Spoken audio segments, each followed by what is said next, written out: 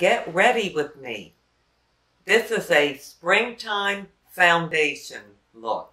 Stay tuned.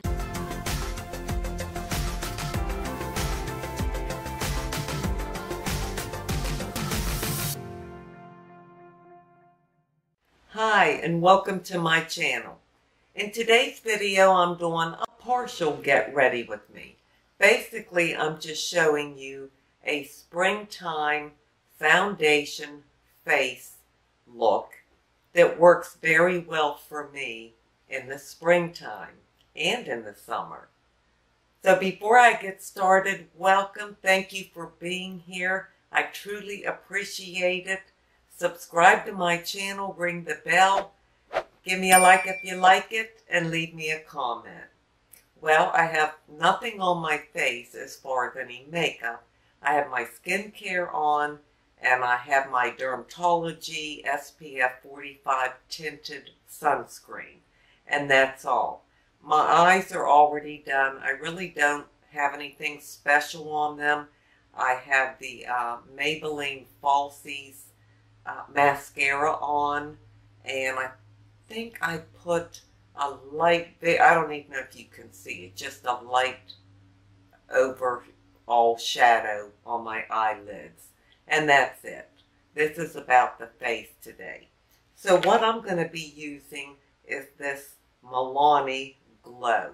Now, this is a hydrator. It's a hydrating skin tint, Milani Glow, and it has 29% squalane in it.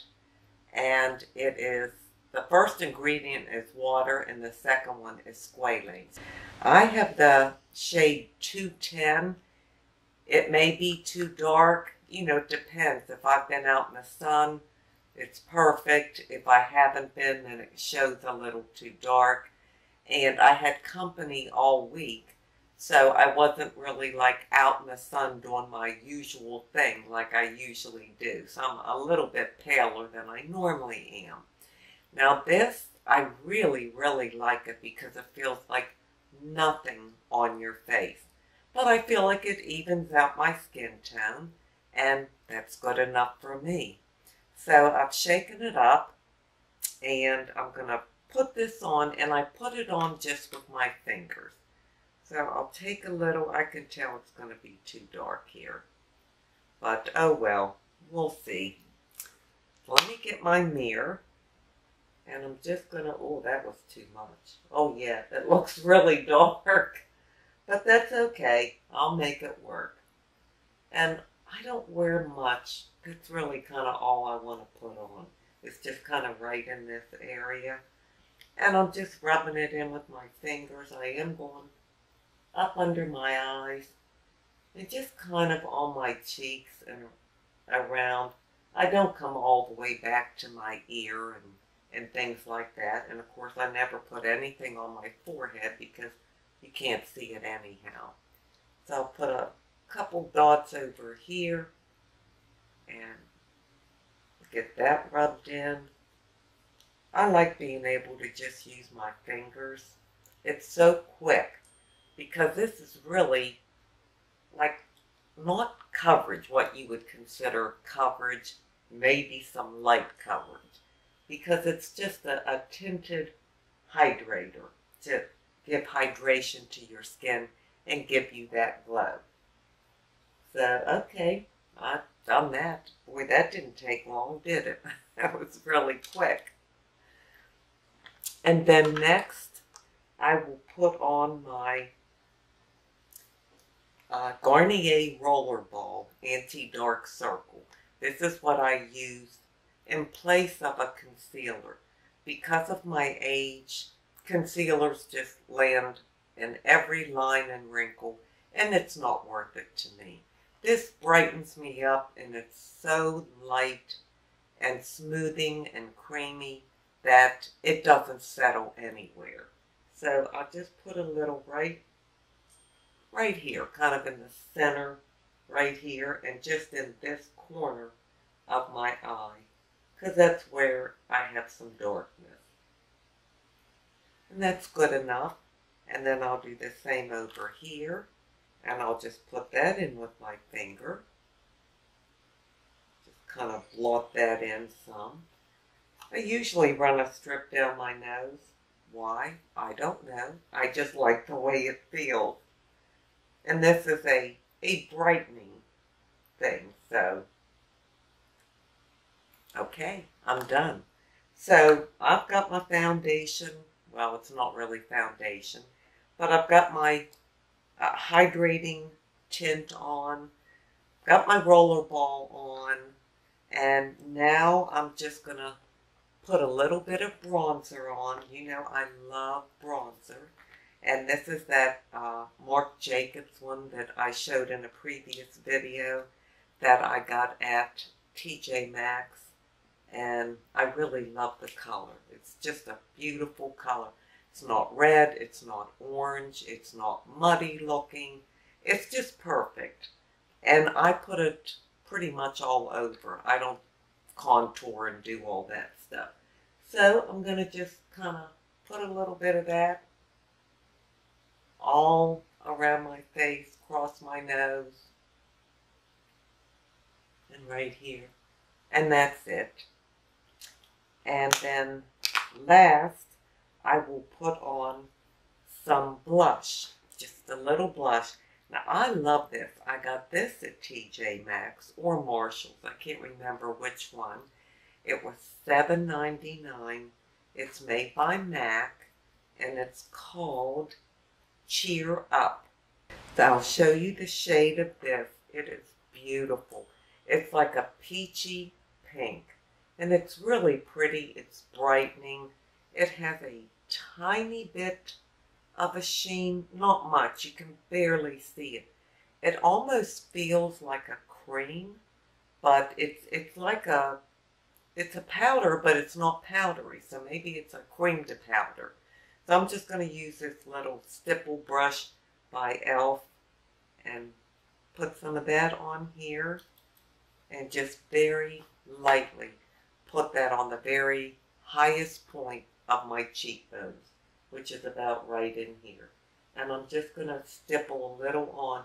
You may not even see it because that's how little I'm putting on just to give me a little color. I think that's perfect. And then I'll do the same on this side. I just go up towards my temple and then right on that highest point of my cheekbone. Oh, I'll do this too. just to have a little, a little something, something there. So that's that. And the last thing I do for a quote highlight is use my Vaseline body balm stick. I'm still using this and I still love it. I put a little on my finger. I'll put a little on the end of my nose, right on my cupid's bow. Take a little more. I tap it in right here, sort of like a highlighter. Tap a little in here. It gives me such a glow. I just love it. And you don't have to worry about it sitting on top of the skin or settling into any uh, lines or if you have texture, you don't have to worry about it. And I usually tap a little just right here. Don't need much because this Milani Glow hydrating tint really does give you a glow. Well, I am finished, but I think I better put some lipstick on. Now normally I haven't been able to wear lipstick in my videos because I have Invisalign on my teeth and the lipstick transfers onto that Invisalign. But I need some color so I'll put some on. This I got at TJ Maxx or Marshalls, I forget which one. It's a MAC lipstick. I, I must have six of these now and they were all $7.99. This one is in the color, I think it's French Silk. Yes, French Silk, number 402. I think it's a beautiful shade. Put some right there on that finger. And here it is. It's like a peachy pink.